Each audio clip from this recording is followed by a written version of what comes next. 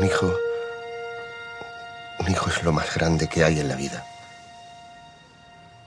Cuando es pequeño, va a lo alto del tobogán. Pero cuando crece, uno ya no ve el tobogán. Y en cualquier momento puede ocurrir lo peor. Que haga algo tremendo. Y aún así, no dejará de ser tu hijo. Es algo que nunca cambia.